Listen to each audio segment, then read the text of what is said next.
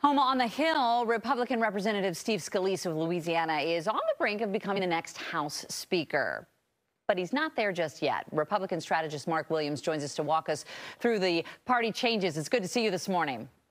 Hey, thanks for having me. Uh, well, let's uh, first talk about the fact that Scalise got the nomination over Jordan. I mean, it was relatively close, right? So, what does that say overall about where the party stands?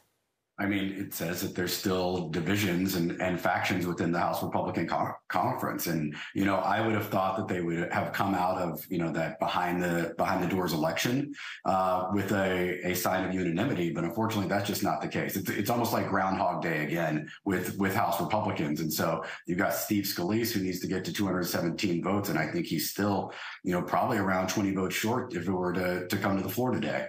Uh, it is like Groundhog Day uh, with you know, McCarthy back in January, and yet it's not because let's let's be honest, the background is very different now. We've got the war in, uh, in Israel going on. We've got the looming uh, November uh, government shutdown possibility. So um, there's a different narrative here, and maybe perhaps uh, it's a little more pressing for them to come to some kind of unanimity, like you said.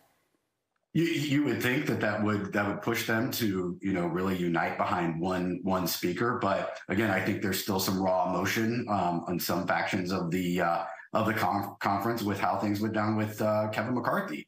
And so again, I think emotions are, are really, really raw and it's going to take them a little bit of time to, to work through that. But I agree at the end of the day, there's a, there's a huge power vacuum given the you know geopolitical events that are that are occurring. And you know like you alluded to the uh, the government funding backstop at the at the end of November. And so you know they, they've got to get this got this figured out or else congress is, is just going to continue to to grind to a halt.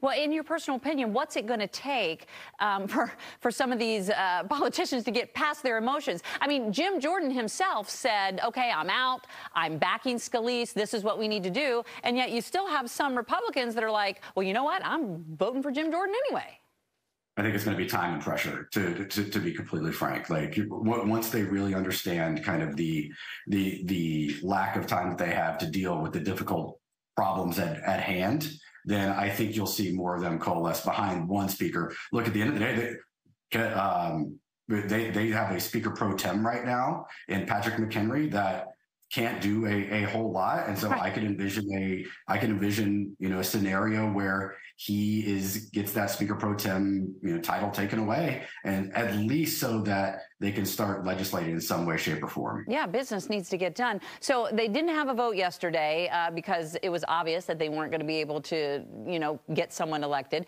Uh, the House reconvenes at noon today. What are the chances of a vote happening today, you think? Probably slim to none. I mean, I think this thing potentially goes into into the weekend. Mm. I, am hopeful that by the beginning of next week they have this put to bed and they can start, you know, really getting down to the to the business at hand. Mark Williams, Republican strategist, sure uh, appreciate you this morning and your insight as well. Thank you. All right, Homa.